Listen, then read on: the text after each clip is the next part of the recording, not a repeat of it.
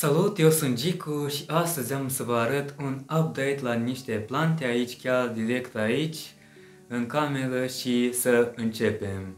Am să vă prezint întâi bambusul care se află aici lângă mine, super frumos. Acesta l-am crescut din semințe și este moso. L-am arătat recent în video scurte, nu știu dacă ați văzut, dar Acum, hai dacă filmez un video normal, hai să vă arăt și acum. Arată foarte frumos, și i-am pus o țavă ca suport și să crească frumos, drept și frumos. Și am observat când ating frunzele de bambus, miroase ca ialba, gen. Dar de fapt e din, e tot un fel de ialbă, da, bambusul, să știți. Și acești lăstari noi care au crescut, au crescut un metru deja cel puțin. Și se sprijină de această țavă și deja uite ce frumos deja cât mine, pot să mă filmez lângă ei, arată super imaginea. Și îmi pare foarte bine. Acum următorul update la planta, fructul pasiunii. Am aici unul foarte frumos, care este plantat în acest ghiveci galben, doar că trebuie curând replantat și cred că voi face și video. Și uitați-vă cum a crescut. I-am pus un suport de bambus și arată foarte frumos pe el. Și iată frunzele noi aici în vârf, micuțe, super. Și acesta îi place să aibă cel puțin 6 ore de lumină solară, deci acum nu are că îl țin în casă și dar va veni luna mai și atunci va avea și vara îl voi muta afară. Acesta l-am crescut din butaș, dar planta mama am crescut din semințe de la supermarket. Arată foarte bine fructul pasiunii. Următoarea plantă care vreau să vă arăt update este la planta carnivoră care am florit și am spus că voi face video cu polenizare, dar n-am reușit. Nu am fost acasă, florile nu au ținut mult și eu sper că s-a autopolinizat și a făcut semințe. Cine cunoaște să-mi scrie comentariu. Și a făcut semințe sau nu? În fine, ce am observat la planta carnivoră că aici a apărut încă o tijă florală și va înflori și eu sper că voi avea timp și voi poleniza, că am pregătit și aceste pensule, le-am cumpărat, dacă ceva, am la îndemână. Și capcanele arată tot ok, frunzele ok, se putea să arate și mai bine, dar totuși. O să vedem pe parcurs. Îmi pare bine cum arată planta carnivoră și momentan are apă în farfurioară.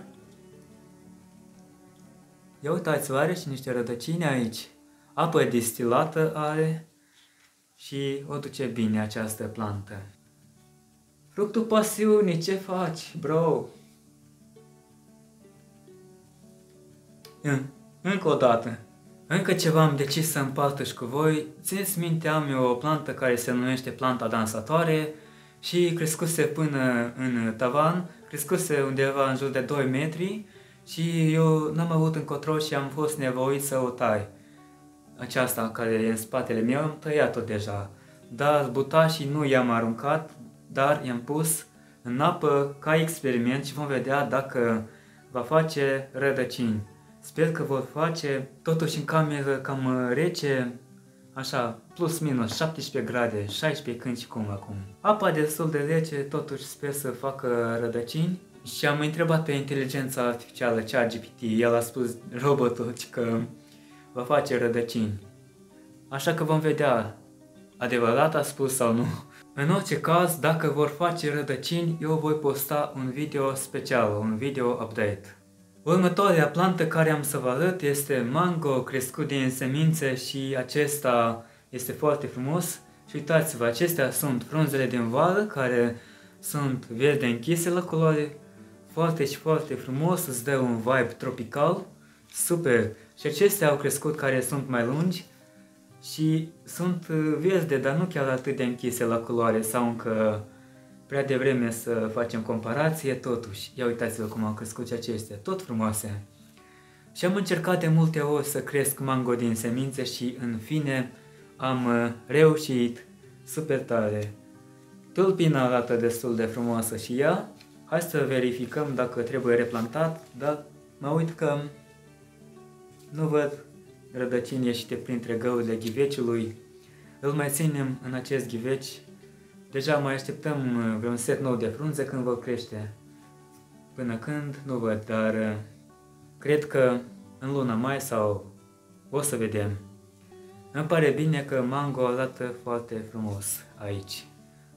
Și din cât sâmburi am încercat, cu acesta am reușit. Și ultima plantă care doresc să vă arăt în acest update este violeta africană. De multe ori am făcut video cu violeta africană, cum o îngrijesc și tot așa. Hai să vă spun și acum, poate sunt urmăritori noi. E bine, iată, este înflorită, înflorește de vreo 4 ori pe an și foarte frumoasă. Aici în farfurioară o dăm doar și eu uneori cojile de la banană le țin în apă două zile și apoi ud cu acea apă și, și conțin potasiu și potasiu ajută la înflorirea plantelor și înfloresc foarte frumos. Pot să mai adaug și zaz de cafea în acea apă, deci trebuie să avem grijă de plantele noastre ca să înflorească și să ne bucure și uitați-vă, pe frunze nu se udă, se udă doar în farfurioară, dacă udăm pe frunze, uitați-vă, apar așa piete, se îmbolnăvesc frunzele și până în fine planta poate să moară. Și cum înmulțim, se întreabă, o putem înmulți prin frunză, dar uneori apar puieți.